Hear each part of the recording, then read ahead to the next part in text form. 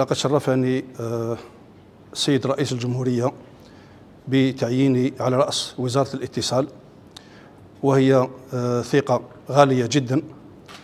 أتمنى أن أكون في مستواها آه، وأدعو جميع المعنيين سواء كانوا إطارات الوزارة أو مدراء المؤسسات الإعلامية العمومية والخاصة ومجموعة الصحفيين بأن نضع اليد في اليد للنهوض بهذا القطاع الحساس.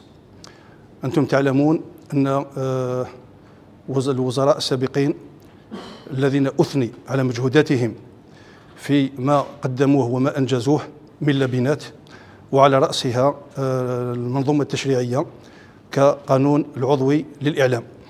آه، بقي أن نقوم بواجبنا إن شاء الله في استكمال المنظومة التشريعية من خلال القانون من خلال المصادقة على القانونين المتبقيين قانون السمع البصري والقانون المتعلق بنشاط الصحافة المكتوبة والصحافة الإلكترونية.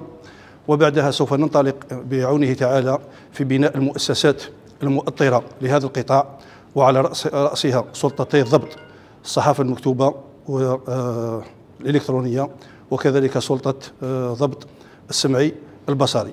وبعدها إن شاء الله سيتم تنصيب آه، لجنة أخلاقيات المهنة وبذلك تكون المؤسس تكون المؤسسات المؤطرة قد استكملت نتمنى ان يكون كل هذا يعني في آه، أقرب وقت.